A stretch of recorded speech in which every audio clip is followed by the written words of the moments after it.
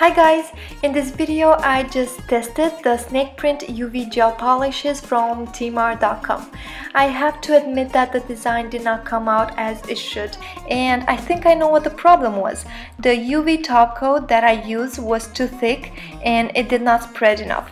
So if you want to try this design using this kind of UV nail polishes, make sure you use a UV top coat that is thin. I'm going to put all the links into the description section below this video and I'm going to let you see the rest of the tutorial. I hope it's going to help you make yourself an idea about this UV nail polishes.